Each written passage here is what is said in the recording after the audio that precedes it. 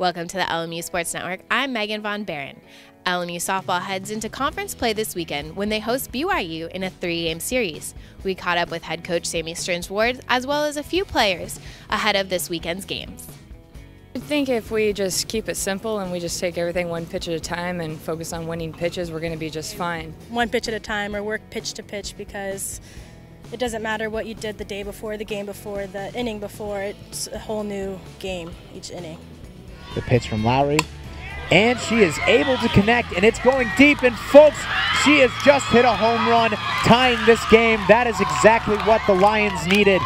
Previously done a pretty good job of, you know, zeroing in and being focused when we need to, and that's what it's going to take. We need to be ready to win pitches. Like I said, I know it's cliche, but when we do things with a purpose and when we're ready to focus on each pitch, the outcome takes care of itself. To go in with a competitive nature and be aggressive against them and know that we're just as good and just as capable of beating them on any given day.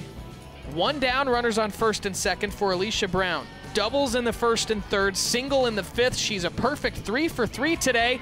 Hits this one well to right field, and it's over Merrill's head, back off the wall we definitely have to come out with an attacking mentality. Um, I think that in the past we've kind of had a tendency to really look at who the opponent is we're playing versus just playing our game. So I think that we need to do our best to play LMU softball. We just need to attack every inning. We beat them last year and we beat them before, and I know we're capable. So if we just attack the pitches that we've been working on and just score every inning. Uh, the goal is to be battle tested by the time conference rolled around. So hopefully we've grown with our confidence in seeing how close we can be with different competition than we've played in the past. Proud of that growth. Now we just got to get over the hump right now, and I think conference is the perfect opportunity to, do that.